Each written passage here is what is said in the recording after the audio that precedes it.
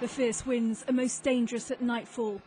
Hot and unpredictable, they fan the flames through steep canyons and usher the firestorm towards the city limits.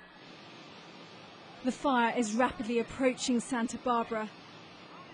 Already thousands of people have been evacuated and at least 75 homes have been destroyed. Firefighters struggle to restrain the fire's catastrophic reach. Starts off looks kind of calm, thinking we're getting the upper hand. Turns out we're not. The Red Cross has set up emergency shelters for evacuees, although there's little comfort for those who don't know if they'll have a home to return to. We've been through a few fires, but it was uh, extremely dramatic, to say the least. A dry winter has helped to create these conditions.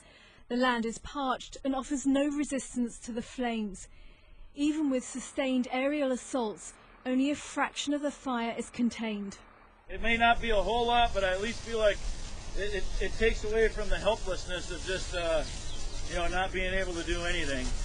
The fire is being driven by the weather, and it's every bit as uncontrollable. And according to the weekend's forecast, there'll be no relief from these punishing conditions. Sara Merchant, Sky News.